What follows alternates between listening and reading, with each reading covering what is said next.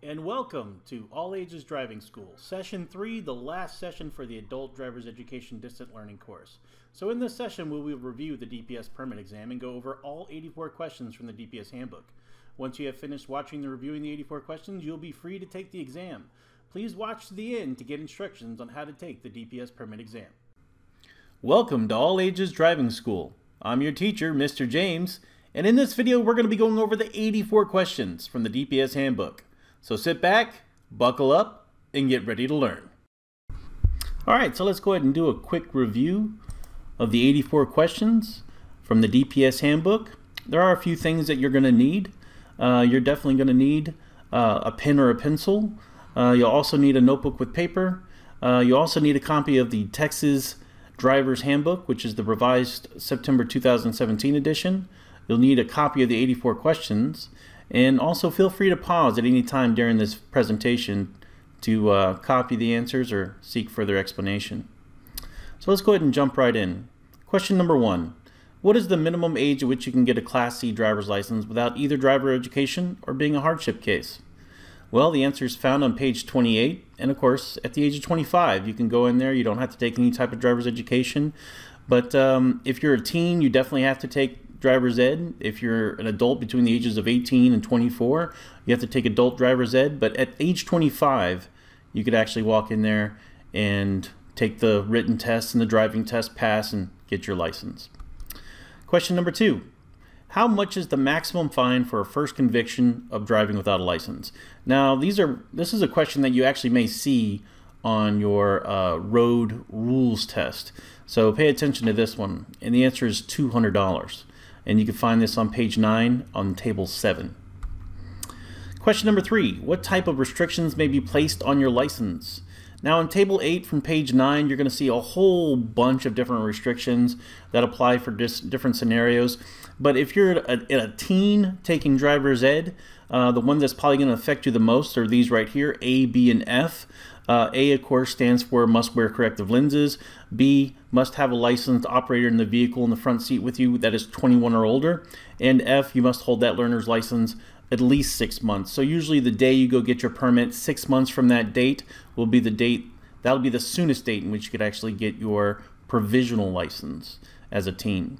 But if you're 18 years old, you can go ahead and take that uh, driving test right away after taking the, the adult class and getting your learner's license. So F wouldn't apply to you. here's the here's the table of the actual uh, restrictions if you want to take a look at them. Question number four.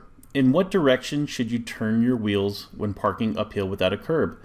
Uh, this is chapter 7. Uh, the answer is on page 47, and of course the answer would be turn the wheels to the right. and the reason that is is because there's no curb to stop your car with the tires, so without that curb, you're going to have to turn them to the right, so in case your parking brake or your parking mechanism fails, the car actually goes into the, um, the portion of the uncurbed area so it doesn't go downhill and uh, cause, causes damages and God knows what. All right, question number five. What action should you take if you fail to receive the renewal notice card reminding you that your driver's license is about to expire? This is from chapter 1, and the answer is on page 10. And ultimately, it's your responsibility. If you're an adult, the buck stops with you. Um, they do try to send you a renewal notice six weeks prior to the due date, but you know how things goes. If it gets lost in the mail or you live with somebody else and they didn't give that mail to you, ultimately you still have to go down there and renew your license when it's due. So one of the tips I kind of give to my students is that every year on my birthday, I kind of look to see if this is the year I need to go ahead and renew my license. And uh, that way I stay on top of it. It's hard to remember to uh, to make an appointment or to remember an appointment six years down the road. So it's kind of a little helpful thing that I do uh, to make sure that I'm not driving with an invalid license. Question number six.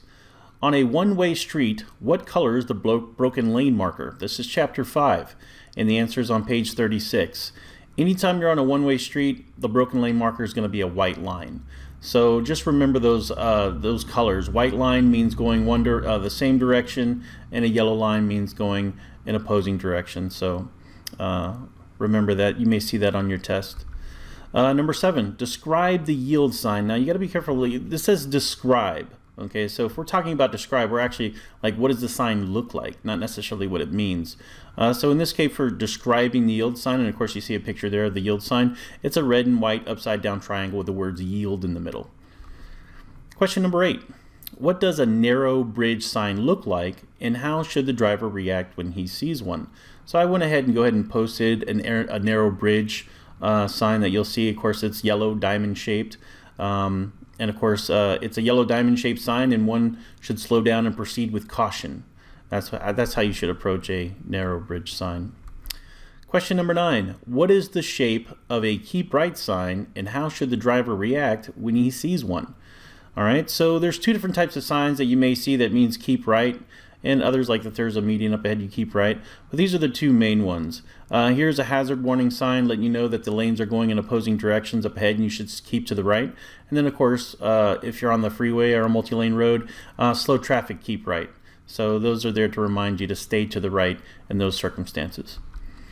Uh, question number 10 which sign tells you to slow down because you are approaching a double curve? This is from chapter 5 and the answer is on page 30 and then of course I went ahead and provided a picture of what a double curve sign looks like.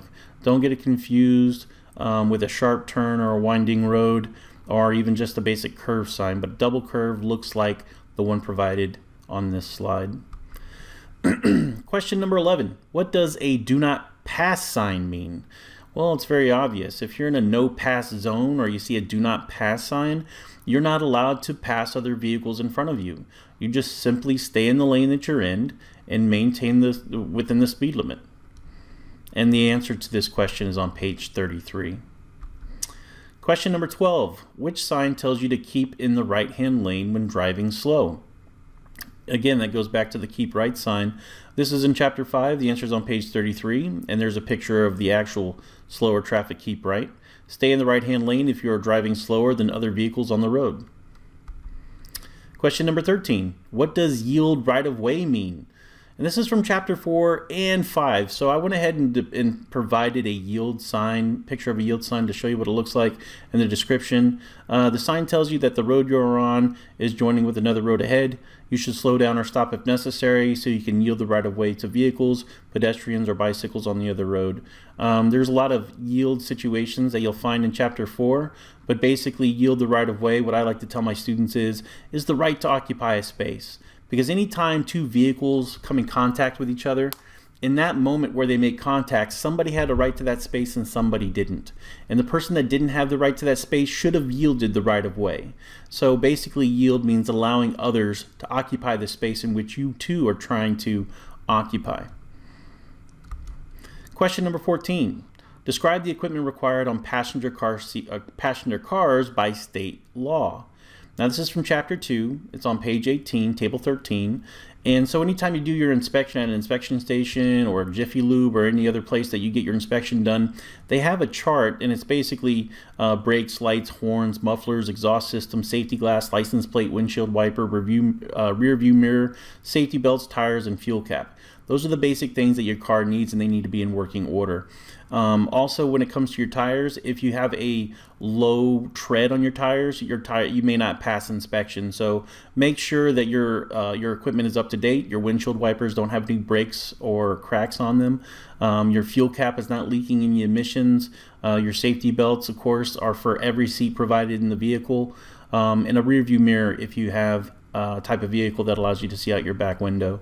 And of course horns, but it, you can't be a horn that sounds like an exhaust whistle or anything that, that mimics a train. So um, there are certain things that uh, that your car needs, but it has to be within the guidelines set by the state. So if you need to see a chapter, uh, if you need to see a, a copy of that table, look at table 13, which is right here.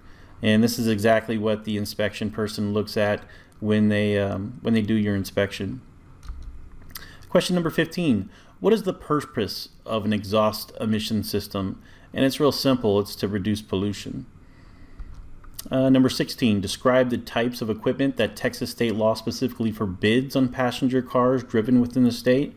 Um, the answer to this is on page 19, and I went ahead and cut out that uh, little section on page 19 to show you exactly what it says, what's not allowed um, on your vehicle. So the following equipment is considered unsafe and is not allowed on your vehicle. Number one, a red light showing from the front or except on emergency vehicles. Um, a bell, siren, or exhaust whistle except on emergency vehicles. A muffler cutout. Anything extending more than three inches beyond the left side of uh, left side or six inches beyond the right side of the body, running board, or fenders of your car.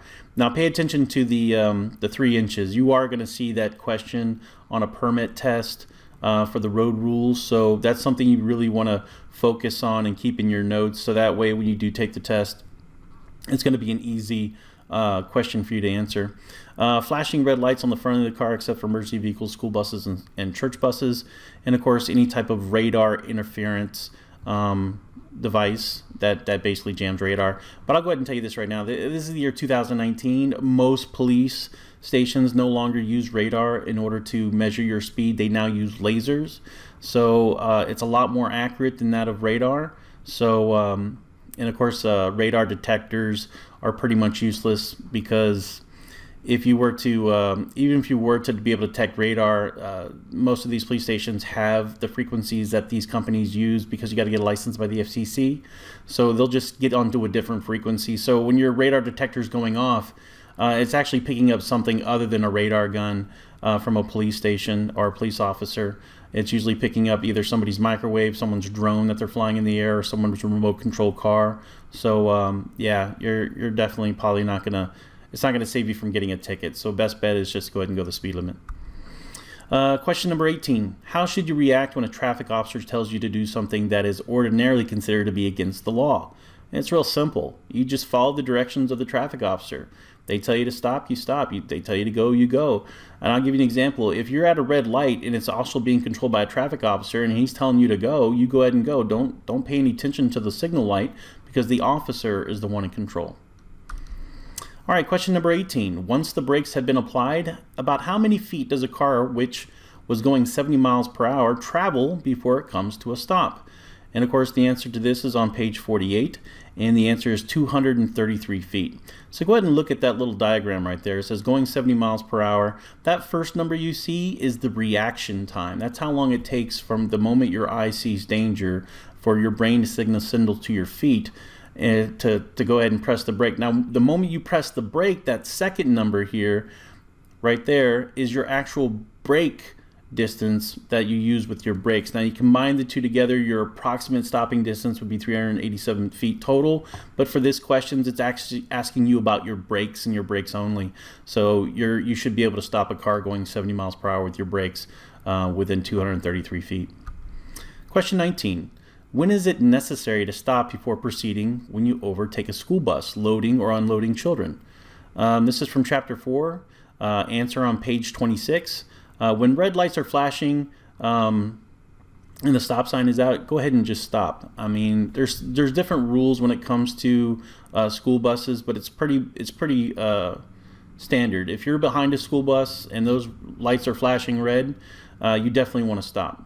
Uh, even on a four-way road and there's no median, everybody's got to stop. So um, look at uh, chapter 4 on page 26 for more details about what is necessary um, when around school buses.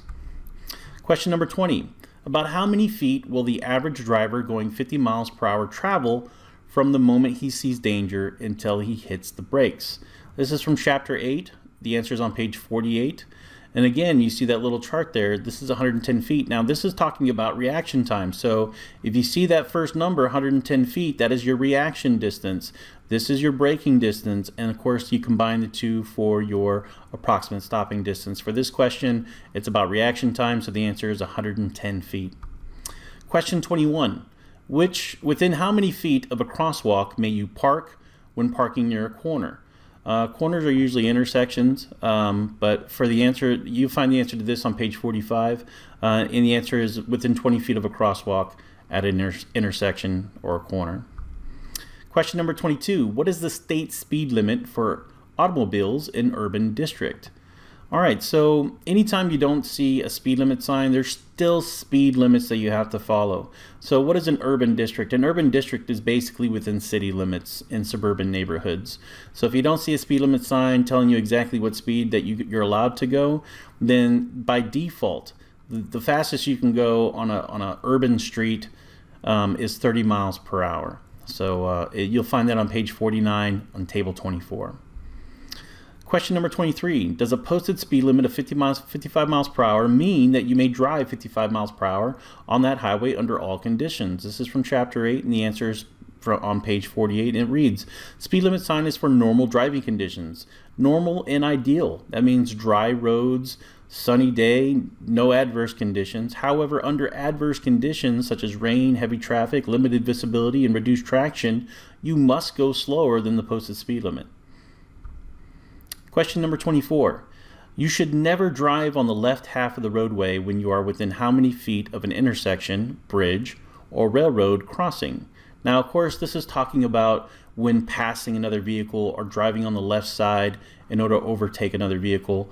Uh, this is this is found on page 41, and the answer is 100 feet. So if you're within 100 feet of a curve, 100 feet of a, of a hill, 100 feet of a tunnel, 100 feet of an intersection, um, these things uh, limit your visibility. 100 feet of a railroad track, these things limit your visibility, and therefore you should never try to pass or overtake another vehicle within these uh, hazards. Question number 25. What should you do if you discover you are in the wrong lane to make a turn as you enter an intersection? And that's real simple. The last thing you want to do is change lanes within an intersection. You can't, by law in a city, you cannot change lanes within 100 feet of an intersection. So uh, you just simply go straight. You, you continue along your way, find a detour, do a turnaround at a safe location, um, but do not change lanes within an intersection or within 100 feet of an intersection. So if you're in the wrong lane, no big deal. It's not the end of the world. Go ahead and try to find a, another safer approach and continue to go straight. Question number 26. When two cars meet at the intersection of a two lane road with a four lane road, which one must yield the right of way? And this is from chapter 4. The answer is on page 23.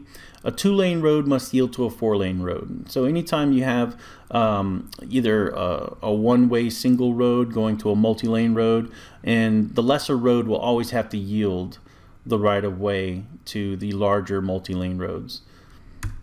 Question number 27. If you are driving and hear a siren coming, what should you do? And I always tell my students the simple answer is yield. So simply yield depending on where your emergency vehicle is coming from. For example, if it's behind you, pull over to the right of the shoulder to let it pass. But another example would be if you're sitting at an intersection and your light turns green, but you hear a siren coming and it's coming from the other direction, just simply stay where you are and let the ambulance pass through the intersection safely. So, whatever condition you're in, go ahead and yield. Question number 28. What is the first thing that should be done when a car starts to skid? And this is the this is from chapter 9 and the answer is on page 52. Uh, you do not want to hit the brakes suddenly or hard and you want to take your foot off the gas. That's the very first thing you do. And then of course you want to turn in the direction of the skid. Now, it may seem confusing what it means turn in the direction of the skid because we're talking about the back end of your car whatever direction that back end turns, that's where you're going to turn. So a much easier way to remember on where you should turn during a skid is just basically turn the wheel in the direction that you were trying to drive. So if you're driving straight down a street and your and your car starts to skid and whatever direction your car is going, go ahead and turn the wheel in the direction of the road towards the road that you were trying to drive down to. And of course take your foot off the gas and eventually you'll you'll pull out of the skid and uh, you'll stay safe. Question number 29 at what time of the day should your headlights be turned on? Uh, this is from chapter 9 the answer is on page 50 and the rules for texas is uh, you must use your headlights beginning 30 minutes after sunset ending 30 minutes before sunrise or any time when individuals or vehicles cannot see clearly for at least a thousand feet now, in 12 states around the country, they actually require that your headlights be on all the time, no matter what time of day it is. If you're driving your vehicle, your headlights are on. So, me personally, as a defensive driver, I drive with my headlights on during the day because it's a safety feature. It allows other cars to see you better. So, even though Texas law hasn't really caught up to that yet, a good way for you to actually be safe out there on the roads is to go ahead and turn on your lights. Um, a lot of cars now have what they call daytime running lights. So this will actually help you keep your lights on and you won't forget to turn them off when you turn off the vehicle by having your daytime running lights uh, uh, set on your light switch. Question number 30. Under what conditions may your driver's license be suspended? This is from chapter 1. Um, the answer is on page 12. Now, they give you a laundry list of things that can actually be suspended for. So, the answer would be a, li a license can be suspended for a number of different violations from continued reckless driving from the point system to mandatory suspensions for violations considered a felony or dangerous. For example, DWI, drug offenses, racing on public roads, overtaking a school bus. These are things at which you could actually have your license suspended. Question number 31. What is a carbon what is carbon monoxide and how may it be harmful to drivers? This is chapter 14. The answer is on page 71. Carbon monoxide is a deadly gas. When exposed to carbon monoxide, make sure to find fresh air and ventilation. Symptoms include dizziness and sleepiness. Overexposure leads to death. So, one of the common things uh, when people do die of carbon monoxide um, from their vehicle, it's because they started the car inside the garage, but they didn't lift the garage door and sitting inside their vehicle, they were overcome by carbon monoxide, fell asleep, and ultimately kills them. So you always want to make sure you have good ventilation where you're restarting your vehicle. Um, and if you ever feel like there is carbon monoxide in the air, try to find fresh air and uh, get good good ventilation. So that way you go ahead and avoid these type of uh, uh, scenarios. So the same thing if you were to break down in, inside a tunnel, that could be a dangerous situation because there's a lot of cars in the tunnel, and air can be uh, saturated with carbon monoxide. Question number 32. Describe what you should do if you have a blowout while driving. And this is from chapter 9. The answer is found on page 52. Uh, and it goes in this order Do not hit the brakes suddenly or hard. Take your foot off the gas and brake gently, and then steer straight ahead to stop. Question number 33. What should you do when driving down a steep grade in a car with a standard transmission? This is from chapter 9. Answers found on page 52. When driving down a steep hill, you can shift your car into a lower, lower gear to help slow your vehicle. Never coast in neutral or for cars with a standard transmission. Never coast with your foot on the clutch. Question number 34. What should you do if you damage an unattended vehicle? This is from chapter 11. Answer on page 63. The first thing you want to do is locate the operator or owner of the unattended vehicle and give your name and address. Um, if you can't find the owner, you want to securely attach a written notice in a visible way to the unattended vehicle providing your name and address, uh, a statement of the circumstances of the collision. Question 35. When are crash reports required? This is also from Chapter 11, answers found on page 62. If you are involved in a crash that is not investigated by law enforcement, officer and the crash has not resulted in injury or death of a person or damage to property of $1,000 or more, you must make a written report of the crash and file it with the Texas Department of Transportation no later than the 10th day after the date of the crash. The written report must be on a TxDOT specific form, which you can find on their website. Question number 36. If you're required to show proof of financial responsibility for the future, how many years must such proof be kept up? Now, this is for scenarios in which your license was suspended. Some judges may require that you show proof of insurance for an X amount number of years, and of course, the standard is two years which is found on page 22. Question number 37. What type of sign warns you to watch right and left for cross traffic? This is from chapter 5. I went ahead and provided some signs uh, in which this is the scenario that you must watch out for cross traffic left and right. It's found, it's found on page 30 and 31. Uh, one of them is, of course, from the T intersection as you approach the end of the road on a T intersection. You got to look out left and right, especially if you're turning left. And then, of course, as you approach a uh, uh, a cross intersection. Uh, question number 38. Describe the emblem that identifies vehicles which travel at speeds of 25 miles per hour or less. This is from chapter 5, answers on page 40. And of course, it looks like a triangle. Uh, it's orange and has a darker set of orange on the edges of the triangle. Um, I showed a picture of it here in the slide, as well as what you normally would find it on is these tractors. Um, of course, you'll see these often anytime during the spring and summer and, and uh, early fall. You'll see these tractors out there mowing the grass, and uh, they'll have these slow moving emblems along the side of the road as you see them mowing the grass. Question number 39 In which gear should you drive when going down a steep hill? This is from chapter 9. Now, the previous question that talked about this was for, for a standard transmission, but for an automatic transmission, you just simply put it into a lower gear. So the gear that you drive in the most in the city, of course, is drive. And underneath it, you have gear, uh, gear 3, gear 2, and then, of course, the L gear, which is for low.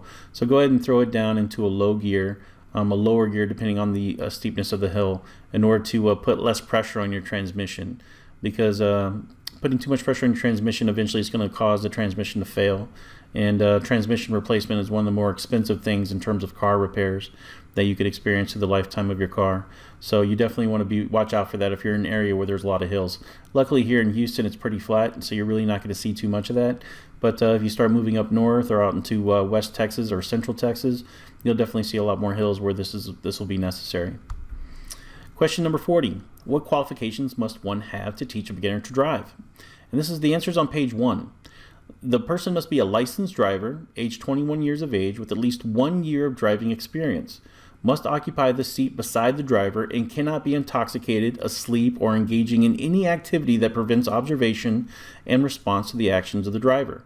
So, students, make sure your driver instructor is not asleep and is definitely not on their cell phone. They should be engaged in your driving and looking out for every scenario that could be possibly go wrong. They're there to help you and make sure that you're learning how to drive and stay safe.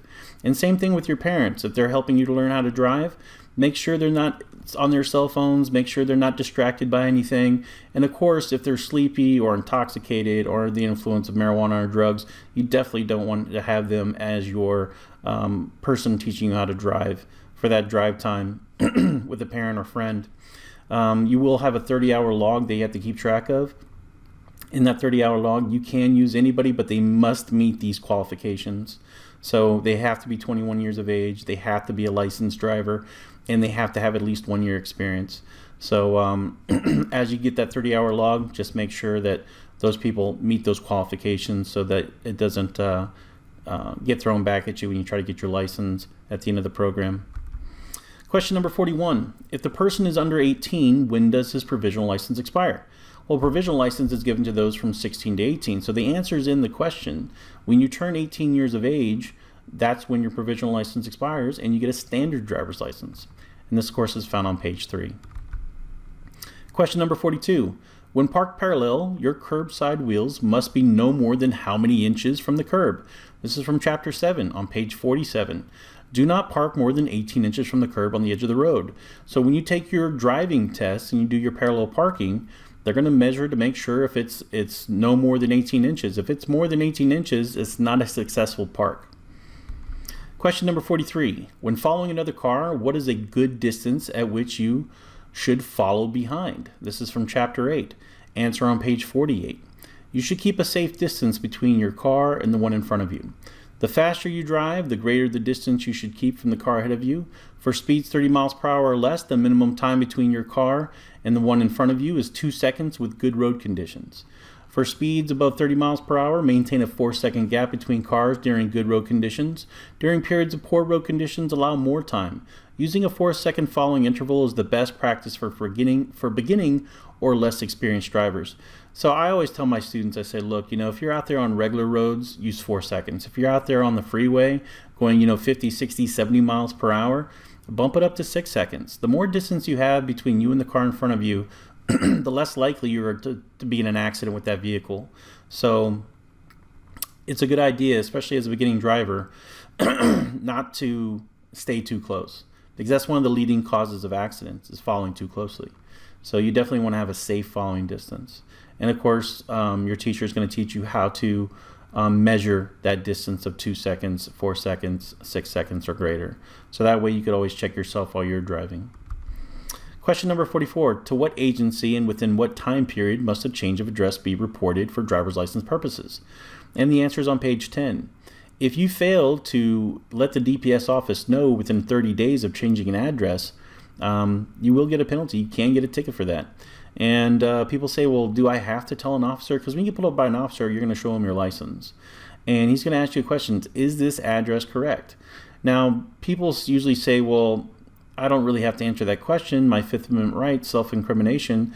True, but when you drive a vehicle, you must, by law, give your name and accurate address. So when he asks you that question, is this address correct? You must tell him whether it's correct or not. And if it's not, you're definitely going to receive a ticket for that. So make sure anytime you change addresses, move to an apartment, a house, or vice versa, you know, make sure you go ahead and let the DPS office know. You could do it online um, or you could do it in person. So avoid that ticket and uh, get that uh, address changed on your license. Question number 45. What effects does the use of marijuana and amphetamine have on driving? Uh, this is from chapter 10, answer on page 58. Marijuana can affect concentration, judgment, and sensory and perceptual skills. Amphetamine makes a driver less coordinated, edgy, and is more likely to be involved in a car crash. So, uh, yeah, definitely don't want to do any type of drugs while driving, let alone, and the same thing with alcohol. You don't want to be under any type of influence because this will definitely make it more difficult to drive. And of course, once you're, if you do get involved in an accident or you're pulled over by a police officer, um, the the punishment for that is uh, could be could be detrimental. Uh, what is the penalty for being convicted of driving while intoxicated? Question 46. This is from chapter 10. Um, the answer is on page 61 and it's table 33. So these are the penalties for DWI and DUI uh, for alcohol and drugs for adults. Of course, the first offense is $2,000. Um, 72 hours to 180 days in jail, uh, 90 days to 365 days suspension. Of course, as you see, as each offense goes higher and higher, the fines go up, the jail time goes up, and of course, your your suspended license could be even longer, up to two years. All right, question number 47. What does a green arrow showing with a red light mean? This is from chapter 5, and the answer is on page 28. A green arrow displayed at the same time as a red light means that the driver can proceed carefully in the direction of the arrow after yielding the right of way to other vehicles and pedestrians. So this is one you're going to find you're going to see on your either road rules test or even on your road signs test. Uh, they may show you this actual picture of a green arrow and a scenario and what you should do. So that's uh, important information to know for your test. Question number 48. How should you react to a flashing red light? Uh, this is on, this is found on page uh, 28. Uh, stop completely before entering the crosswalk or intersection, then proceed when you can do so safely. Vehicles on the intersecting road may not have to stop. So for an easier answer, it would be treat it like a four-way stop sign and use the, the rules of right-of-way uh, for that uh, particular scenario of a flashing red light. Question number 49. Which sign tells you to watch out for a train? This is from chapter 5 and the answer is on page 35. I went ahead and provided you um, of the three most common warnings for train tracks. And of course, anytime you see a circled uh, sign, that's specifically for railroad. And then uh, that lets you know you're within 100 feet of a railroad. And of course, once you're at the actual railroad crossing, you're going to see that uh, uh, that X rail crossing sign. And uh, not all rail crossings have this, but most in cities have the arm with the flashing red lights letting you know that a train is coming and you must stop. Now remember, anytime you're within, um, anytime you're stopped at a, at, a, at a train when a train's coming, you cannot be any closer than 15 feet um, to that railroad track when you're stopped behind the tracks. Uh, question number 50. Describe the sign that warns you to slow down for a winding road. Chapter 5, page 30. I went ahead and provided you a picture of a winding road sign. Don't be don't be confused with the double curve, um, but this is an actual winding road uh, hazard warning sign. So there's a winding road ahead. Drive slowly and carefully and do not pass. Question number 51. What sign indicates that the road that you are on merges with another? This is from chapter 5. The answer is on page 31. Um, the sign right here, which I've shown, um, it shows an arrow which kind of has a little tail attached to it and uh, basically means you're approaching a point where other traffic lanes come together with the one you are in. Watch for traffic from that direction. Question number 52. What kind of sign warns you that the highest safe speed for the curve ahead is 35 miles per hour from chapter 5? And the answer is on page 33. Um, you would see an advisory speed sign. Uh, that's what it looks like right there. The sign gives the highest speed, which you can safely travel around a curve ahead. And uh, also, another sign that lets you know that you definitely need to slow down, that you definitely want to be aware of, is the exit speed limit off of freeways. Um, if an exit speed limit of 25 miles per hour, that means as you exit the, the freeway, you must slow down to that speed limit uh, in order to avoid a ticket as you merge onto the feeder road. Question number 53 Describe the sign that tells you to watch out for cross traffic ahead. Now again, we saw the sign before in an earlier question, but this is an actual cross traffic sign, hazard warning sign. Um, it's found on page 30. It means cross crossroad ahead, slow down, and watch for uh, cross traffic. Look carefully in all directions for traffic. Question number 54. What type of sign warns you that you should slow down for a sharp rise in the road ahead? Now this is a bump sign. This is found on page 32. This is what a bump sign looks like. Um, there's a sudden high place in the road ahead. Slow down in order to avoid losing control of your vehicle or avoid an uncomfortable jolt. Question number 55. Describe the type of sign that would let you know that you were on a short state highway in a city or urban area. Um, this is on page 35. Uh, like for instance, uh, Texas 235, Texas route marker sign tells you what road you're on while, tra while traveling on. Uh, plan your trip and know which road you want to take. Question number 56. What is the maximum number of inches you may lawfully allow an object to extend beyond the left fender of your car? And I have a highlighter right here. The answer would be 3 inches. No more than 3 inches beyond the left side of your body, running board, or fenders of your vehicle. Question number 57. Under what conditions must you always stop? This is from chapter 25. Answer on page 28. Red light, flashing red light, stop sign, officer instructs you to stop when yielding to oncoming traffic on a left turn, and any and all pedestrians in a crosswalk or road. Question number 58. What should you do when coming onto a street from a private alley or driveway? So anytime you pull out of your own driveway, this question applies to you, and the answer is on page 23. When entering or crossing a road, street, or highway from a private road, alley, building, or driveway, you must stop prior to the sidewalk and yield the right of way to all approaching vehicles and pedestrians. Question number 59. If a child runs into the road 45 to 50 feet ahead of you, of your car, what is the highest speed from which you can stop with good brakes without hitting him? This is from chapter 8. Answer on page 48. 30 miles per hour. Uh, has a braking distance of 43 feet. So if you look at that chart from chapter 8, um, you'll see all these different speed limits. And of course, the only one with actual braking ability of less than 40, 45 to 50 feet is uh, 30 miles per hour. That's about as fast as you can go and still stop safely without hitting that child. Question number 60. How close to a fire plug, fire plug is another name for fire hydrant, may a vehicle lawfully park? This is from chapter 7. The answer is on page 45. No closer than 15 feet. Question number 61. What does a posted speed limit of 55 mile, miles per hour mean? And the answer is on page 33. Uh, the sign tells you that the maximum speed in miles per hour you're permitted to travel. Sign also indicates the maximum speeds permitted on the road for daytime and nighttime. But also know that this is for ideal or normal conditions. You know, nothing that, that would be considered adverse, right? Anything adverse is something that affects vision and traction. So if you're in a scenario where your vision or traction or both is affected, going 55 miles per hour definitely would not be a good thing. So speed limits are for only normal and ideal driving conditions. Question number 62. What is the maximum speed limit for passenger cars on a Texas highway numbered by the state or United States outside of an urban district? This is on chapter 8, answer on page 49. It's on that uh, chart. Now again, uh, 70 miles per hour. So if you don't see a speed limit, sign and you're outside of an urban area, you're in a rural area outside of town and you're on a freeway, like let's say I-10, and you don't see a speed limit sign, the max you can still go is 70 miles per hour. Now, are there roads in Texas that have a speed limit greater than 70 miles per hour? Absolutely, but they must be posted. So don't assume that you can go faster than 70. And if you don't see a speed limit sign, just know that there's still restrictions on how fast you can go. Question number 63. Under what circumstances should you never attempt to pass a car ahead of you? This is from chapter 6. Answers on page 41. Uh, and these are the different scenarios. Uh, pavement markings or signs prohibited driving on the left, no passing zones. There are two or more traffic lanes in each direction.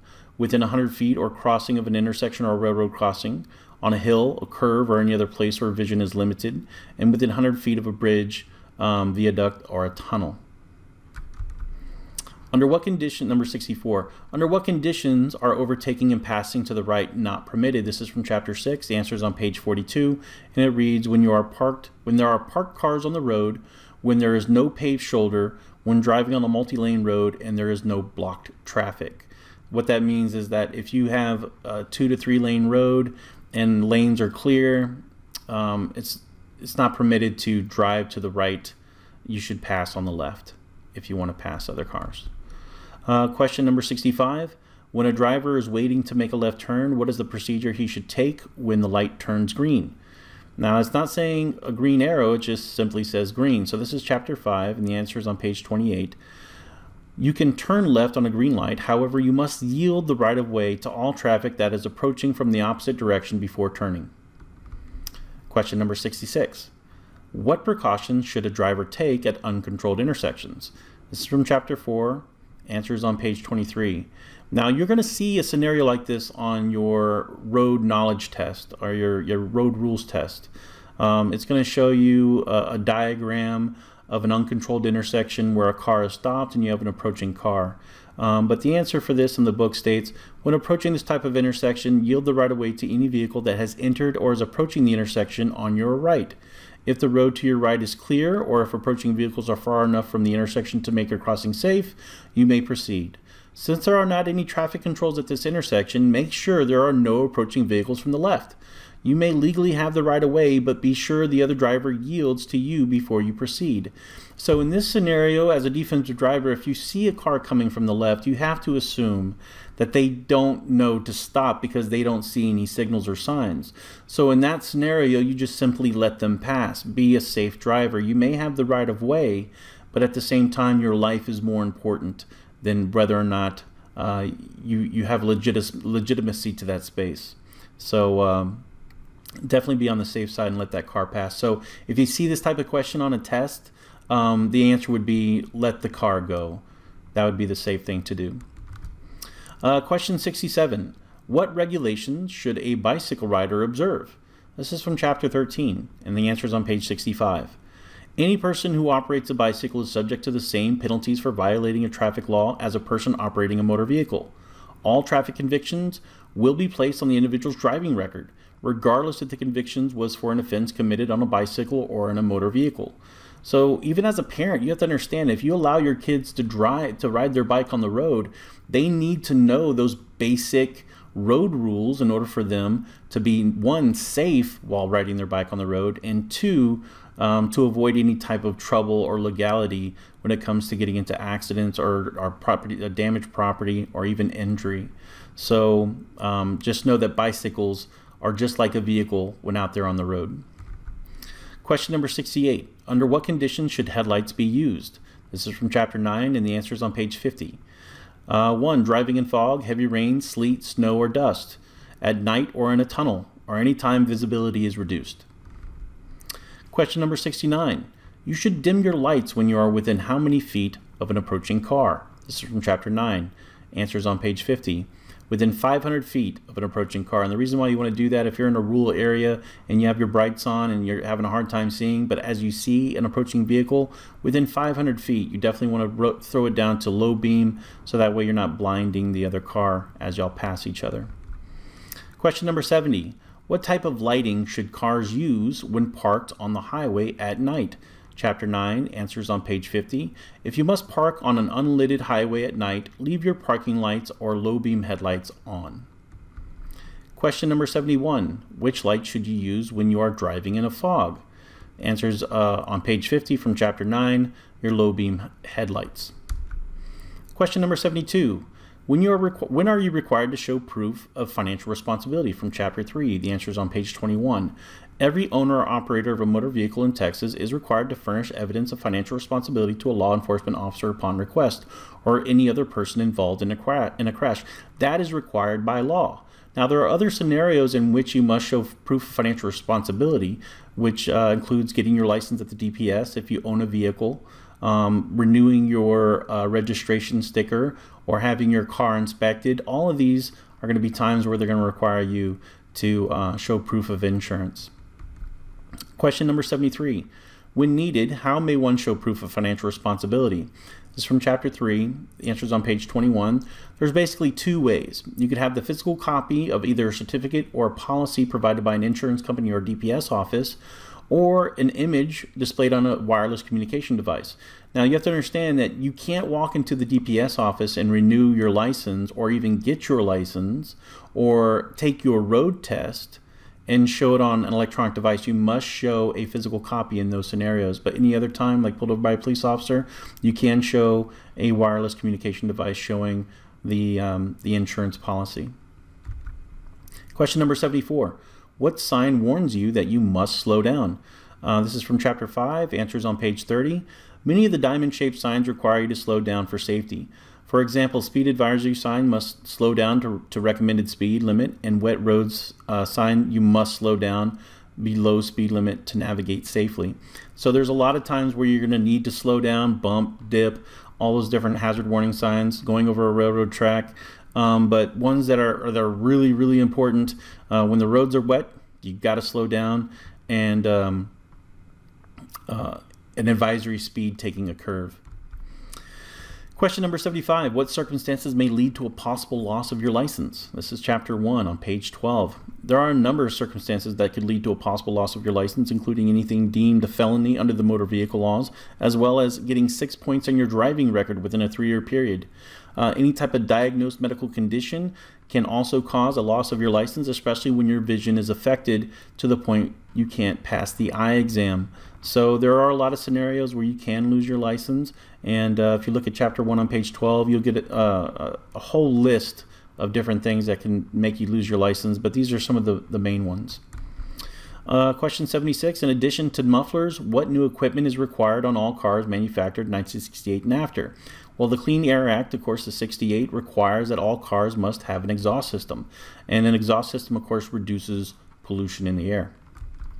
Question number 77 Why are seat belts important?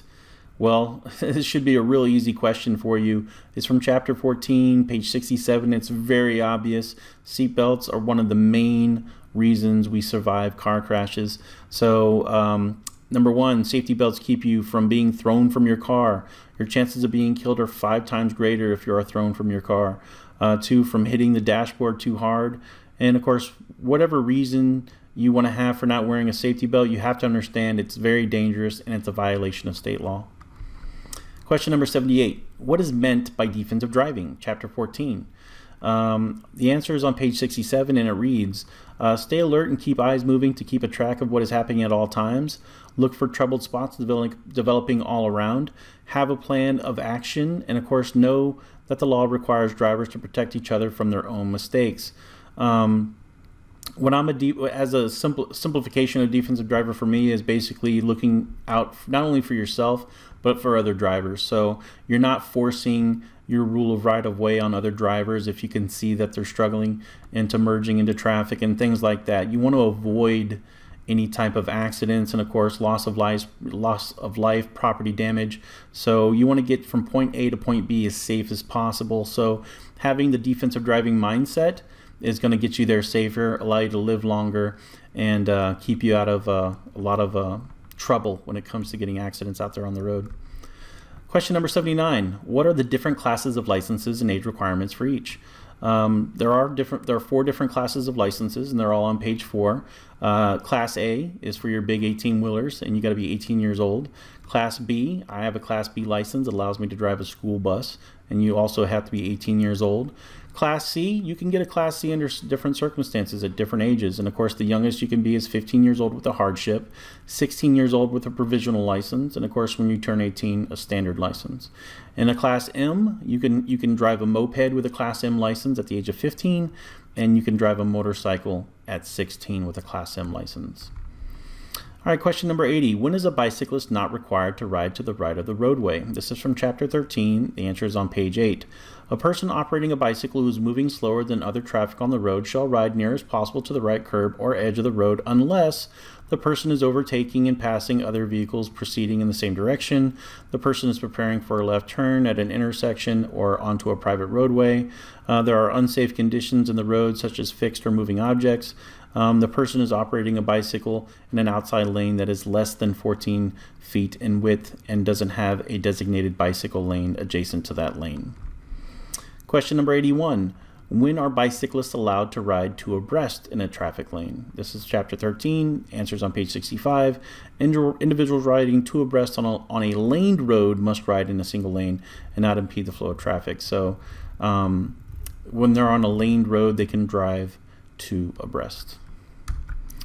All right, uh, number 82.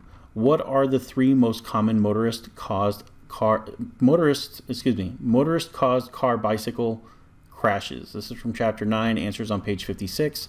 The most common car bicycle crashes caused by motorists are one, a motorist turned left in front of an oncoming bicycle traffic. Um, two, a motorist turns right across the path of the bicycle. Three, a motorist pulls away from a stop sign and fails to yield the right of way to a bicycle uh, in cross traffic.